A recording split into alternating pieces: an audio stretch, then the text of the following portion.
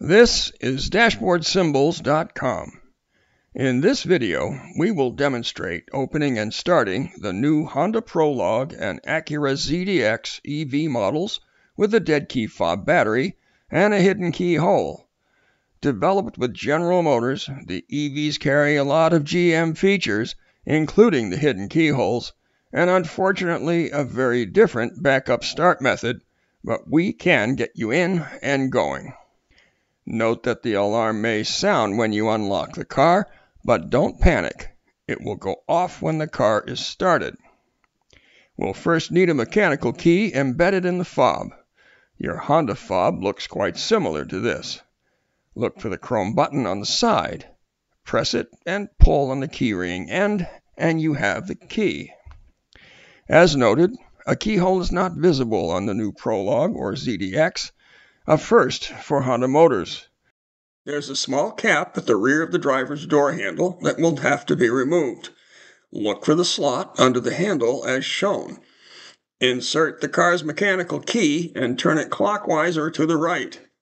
We're at the New York Auto Show and did not have the correct key. The cap should have moved more than we see here, but it was still possible to slide the cap back and off. And yes, you're prying off a piece of your car, but it's okay and necessary. The keyhole is now visible just behind the driver's door handle. Insert the key and turn, and you're in. Note now that if the alarm does not sound or other electronics are not working, the main start battery may be dead, and yes, an EV has a 12 volt start battery, and you'll need roadside assistance, but it won't hurt to give the following a try. Here we will use a couple of Chevrolet stand-ins, starting with a Blazer. An attempt to start the car fails, and you'll see a very similar message.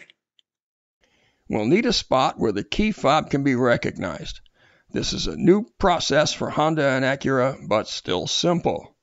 The Blazer wants the fob placed in the front cup holder, but the ZDX and Prologue cup holders are side by side. Use the one closest to you. Once the fob is in place with the buttons up, start the car as normal. The car recognizes the fob and starts, which in your case will be a visible ready light, as we saw in this Chevy Volt. And you'll be on your way. Don't forget to get new batteries for your fobs.